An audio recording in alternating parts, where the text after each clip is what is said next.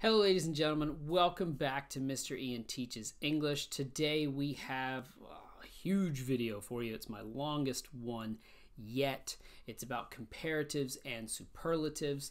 Now, you may have already learned about this in your English education, but I find that students might know the rules but don't use them. Uh, they've got some bad habits they need to break. So maybe this is new material for you, maybe it is a refresher, something you already know, a review.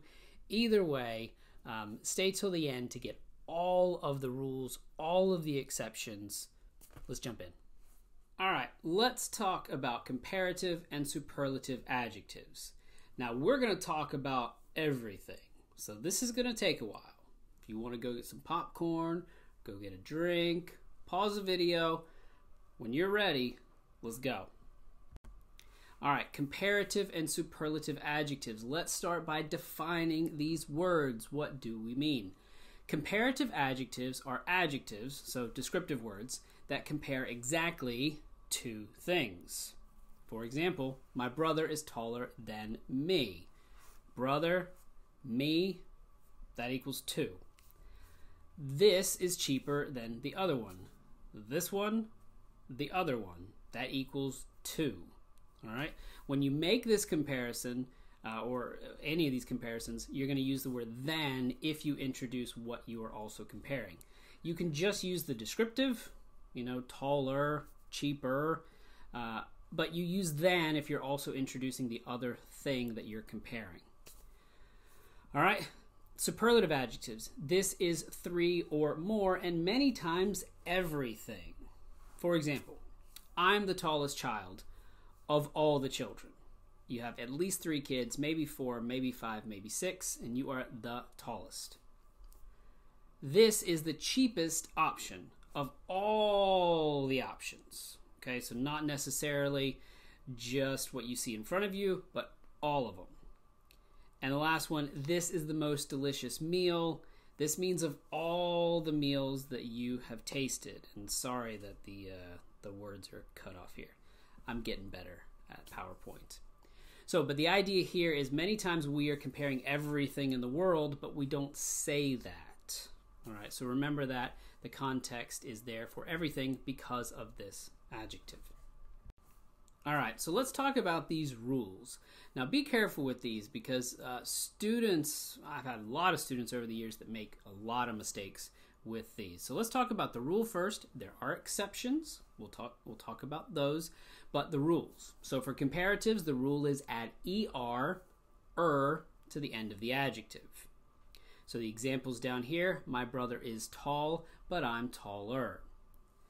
That route is quick, but this one is quicker. And I'm emphasizing the er.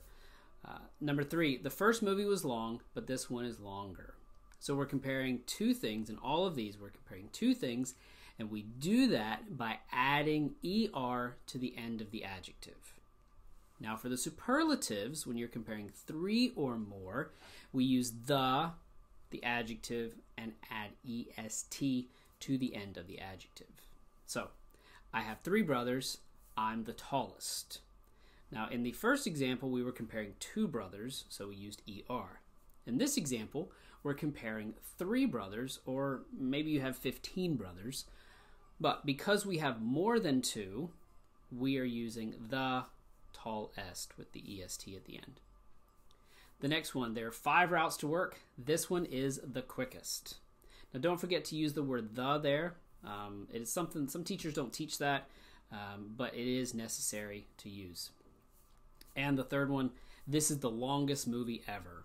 So we're comparing all movies of all times, which is definitely more than two. So the and est. All right, now every good rule in English has exceptions, and this one has three. So let's pay close attention here to figure this out. Exception number one use more or the most before the adjective for two or more syllable words, and don't use er est. I hear a lot of students say things like more faster. So they have the more and they have the er. You'll never use both. Now, which one is correct? You need to follow the rules and uh, exceptions to figure that out, but you'll never use both. All right, let's look at some examples here. This necklace is more beautiful than that one. Beautiful. Three syllables. So we use more in front of it. The superlative. This is the most beautiful necklace I've ever seen. So, I've ever seen all the necklaces in the world. The most beautiful. Again, beautiful, three syllables. So, that's more than two. So, we use the most in front of it. All right, the next set. This car is more economical than my old one. And the superlative, this is the most economical car that they make. All right, first one we're comparing two things, so more, and the second one comparing three or a bunch of different cars. So we use the most in front of it. Third set, my old boss was more trustworthy than my new one, and she's the most trust Percy, excuse me, she's the most trustworthy person I've ever worked for. All right, in all these examples, you can see using more and the most when a word is two or more syllables. That adjective is two or more syllables. Now, be careful with this one. This one is important because in many languages, at least the ones that I've studied, that's how you make these comparatives and superlatives. You simply say more or most in front of the adjective. But that's not the rule in English. Remember, this is an exception. So the rule is ER or EST. This is an exception. So be careful that you're not taking grammar rules from your language and just bringing them to English. Sometimes it works. In this case, it doesn't. All right, exception number two. Now, this is more of a spelling exception, and, and so is number three. It's a spelling exception. So here, number two, double the final consonant and add ER or EST when the word ends in CVC. Now, you say, Mr. Ian, what is CVC? CVC is consonant, V is vowel, and C again is consonant. If you haven't learned that about the English alphabet, we have 26 letters, we have five vowels A, E, I, O, U. Everything else is a consonant. So this is just a spelling thing. So we'll look here. First example this summer is hotter than last year's. So the adjective here is hot. Hot ends CVC. H is a consonant, V is a vowel, T is a consonant. So for spelling purposes, we double the last T before we add ER. And this is the hottest summer on record. Again, same thing except EST. And don't forget the in front of it. All right. Next set of examples I'm fatter than I was five years ago. That's not true for me. Maybe you, not me. Anyway, here we have the word fat, F A T, consonant, vowel, consonant. All right. And the superlative, my late 20s were the fattest time in my life with the EST, the double T, and the. Now be careful. The examples I've chosen here, I chose them because they're very common. All of these examples of the adjectives have three letters, but that's not part of the rule. It can have a lot of letters, you know, more than three, as long as it ends in consonant, vowel, consonants, the last three letters. All right, let's look at the last set of examples. Staying in my old job would have been a bigger mistake. B I G, consonant, vowel, consonant, and double the G, at ER. And then I made the biggest mistake of my life last night. The, double the G, and EST. And the last exception is two syllable words that end in Y. And again, this is just a spelling change. Uh, if you make a mistake with the spelling change, on a computer, it's probably just going to fix it for you. Uh, and on paper, people will still understand you. So they're not big deals, but they are rules, or sorry, they are exceptions. So I want you to know. All right, the weather is much snowier here than in my country. Snowy ends in a Y. We change it to an I and add ER. and this is the snowiest weather I've ever experienced. Second set of examples your head is shinier than before you shaved your head. And this that is the shiniest car I've ever cleaned. Shiny ends in a Y. It's a two syllable word, shiny. So take that Y and add the ER or EST. And the last one, this house is tinier than your old place.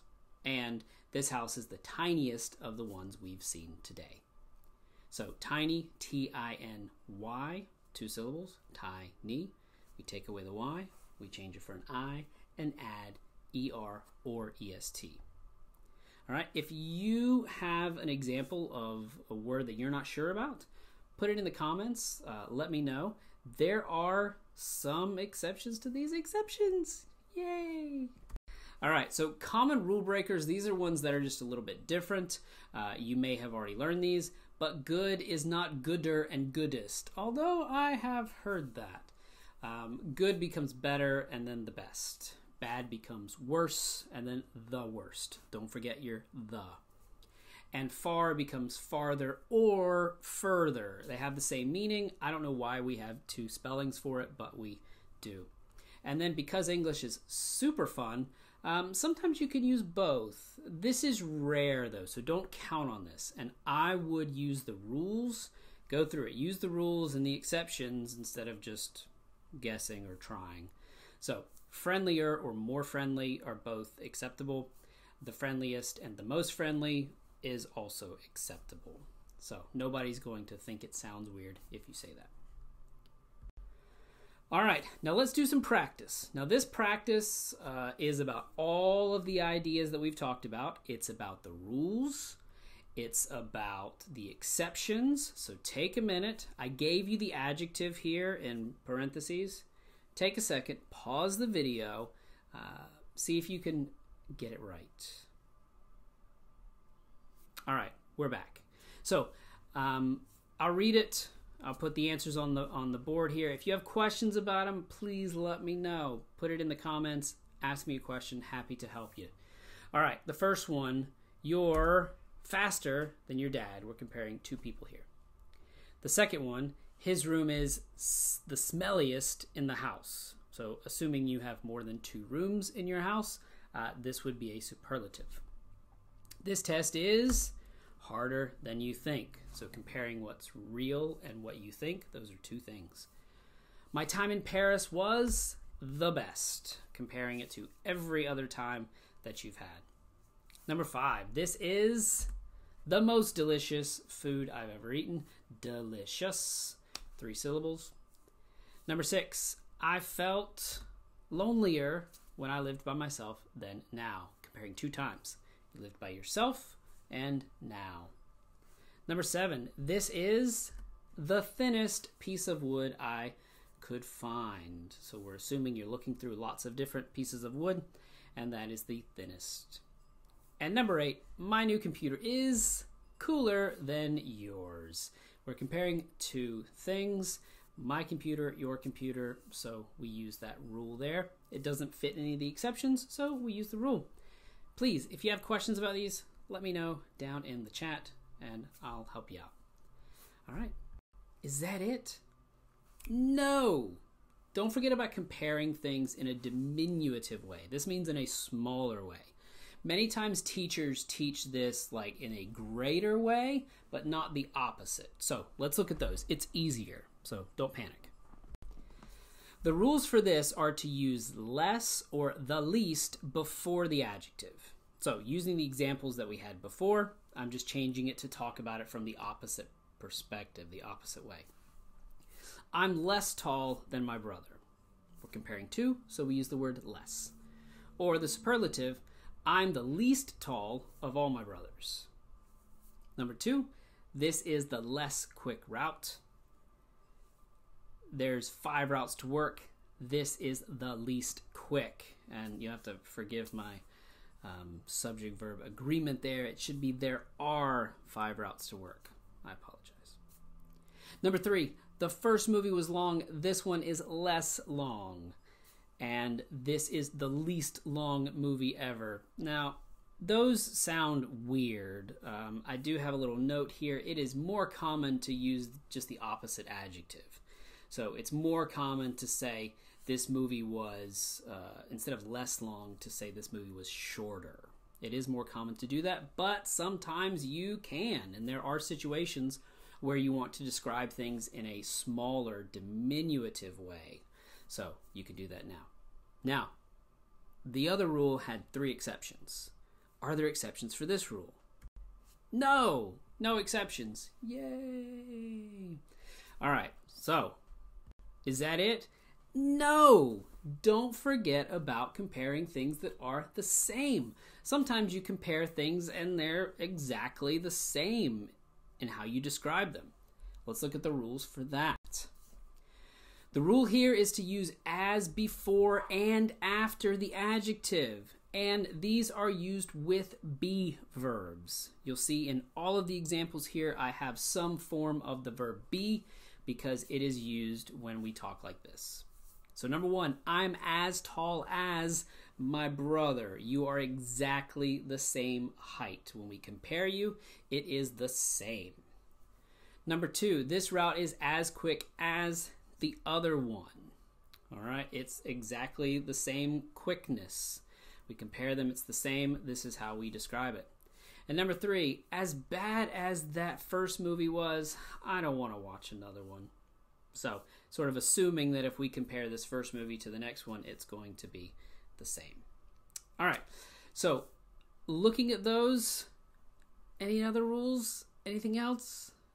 No, you're good. Um, these are a little bit more common. I would say the this comparison is more common than the diminutive one we just talked about. So pay attention to that when you're speaking or listening or reading. Why is this important?